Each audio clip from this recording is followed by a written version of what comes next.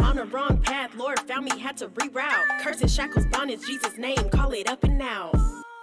Up and now, up and now. Hey y'all, welcome back to Perfect God Pursuing Me. I'm Yaz. I'm so glad you're here. God has called me to make this video that I honestly never expected to be speaking on, but if you're here, you probably have a tattoo you regret.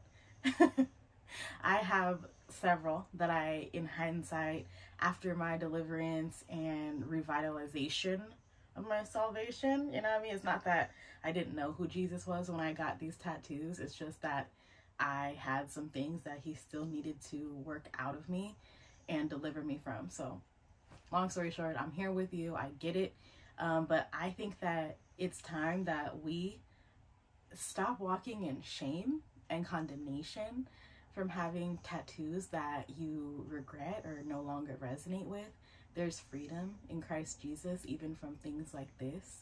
He's walked me through this over the last four years and counting. So I can honestly say I'm in a place where I don't feel any shame about the tattoos on my body. Um, I know that people look at me, you know, within the Christian community, people will look at me sideways or, you know, think that maybe I, I still need deliverance in certain areas, but it's a testimony and it's an opportunity to share the grace of God, the love of God, and the work He's done in our lives.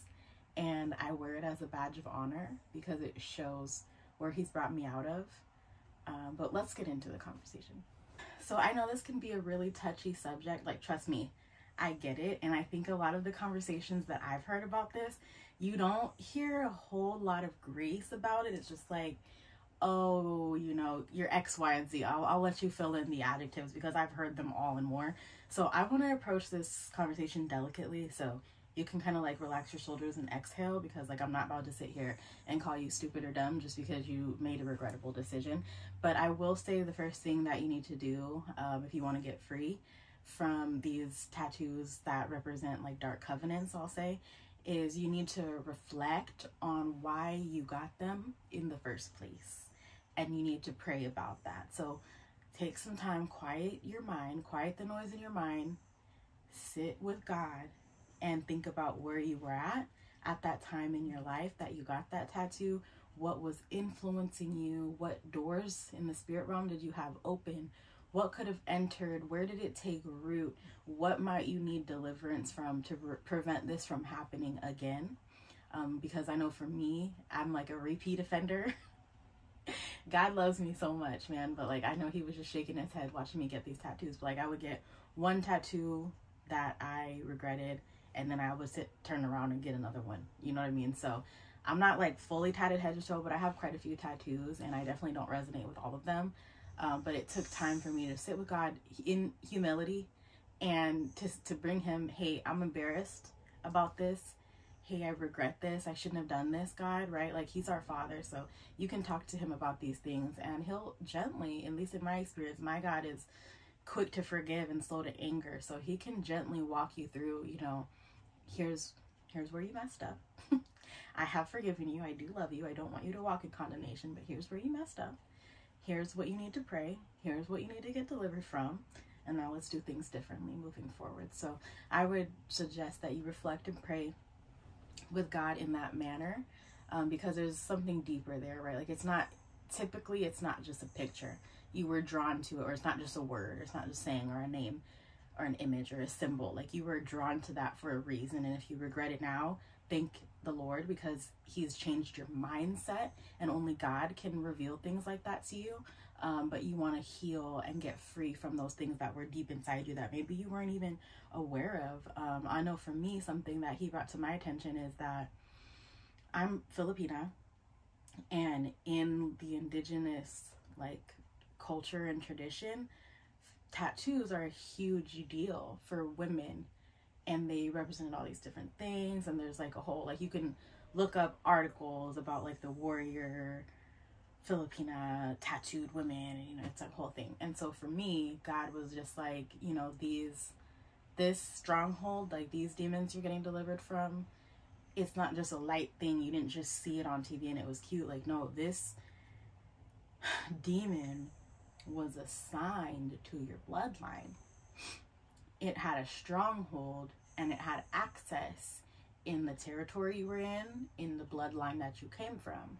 And so, me getting delivered and free from these things, it took a lot. And it, it was a big deal because it had several generations, even more than I can even realistically trace in a chokehold.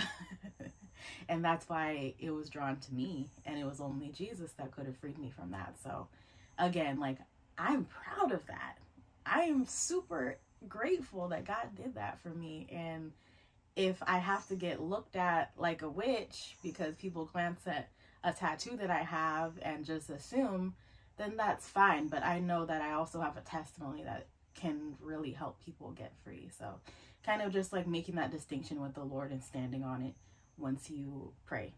Okay, next thing I had to do is repent and break the covenant because when you get a tattoo, you're shedding blood.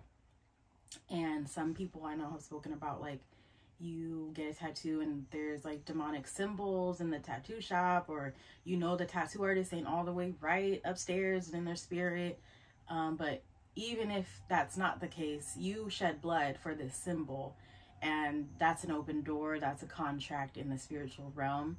So you need to, like I said, the Lord, I really do like have a lot of trust in the Holy Spirit that you don't need a written out scripted prayer to repent and break covenant with these things because the Lord will lead you and direct you in how to do that. So that's why I'm kind of being vague on it because only He knows how deep it goes and what needs to be said. But that's something I definitely did was just break covenant with. If you got a tattoo to symbolize or document a relationship you had with somebody, breaking soul tie, breaking covenant with them. If you had it because you believed a false doctrine, I've done that as well. Breaking covenant with those demon gods that are leaders of that spiritual thought pattern. Um, if you did it because you and something I've done as well. Like you have like this sadness, this depression, this mental health issue, whatever, and you want to document that you survived that. That's a covenant with a curse.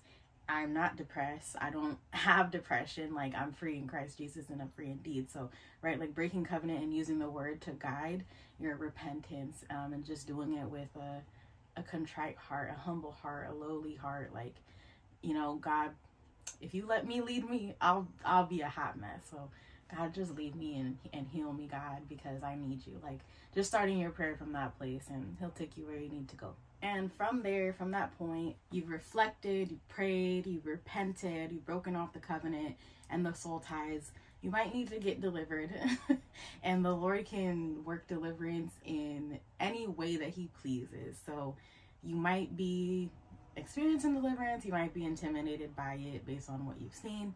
Um, I know I've had a number of different types of deliverances from like what you would traditionally see, like a shatata, oh, screaming on the floor. Yes, that is amazing. And I've also had a self deliverance where nobody was around and nobody ever knew but me and the Lord. But people in Christ who saw me after were like, oh, there's something different about you, you know? I've had deliverance where I was sleeping and God woke me up and I was vomiting um, because I was getting freed from something in my sleep. So God can deliver you. and it might be something you have to wrestle and toil for. But I do believe at the right time, at the appointed time, He does bring our deliverance because He's a good Father. So after all of that in, turn, in relation to your tattoos, you might need to go ahead and get delivered from some of those things that He reveals to you and after that, you are free and you need to walk in that freedom. You need to forgive yourself because Christ has forgiven you. And you need to walk boldly and realize that these symbols, they're just skin now, they're powerless. These tattoos are no longer covenants, these tattoos are no longer contracts. These tattoos no longer reflect who you are, they only tell a story of who you used to be. That has nothing to do with who you are today. So these after you do these things you get delivered you repent you break the covenant you're free now and you need to walk in that confidence and seek god for the next steps. I know there's times where i was like god like after i first first first first got delivered from this one specific tattoo that I was like so embarrassed about like so humiliated. People were like judging me making fun of me whatever you know the world was worlding. Um, after he freed me from that contract, I was like, okay, what now? And he's just like, just sit with it. Just sit with it. It's not going anywhere. You're not going anywhere. Your skin ain't going nowhere.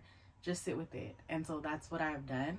And then there's another tattoo where this was more recently, actually. Like, I think it was in a dream. It was either a dream or a vision, but he gave me a vision. He put the image in my mind, whether I was asleep or awake, I don't remember, on a cover up for it. And I was like, ah, that's fire. Because before, like I said, he just told me to sit with it. So I was just like, okay, cool. I'm, I'm sitting. I'm here.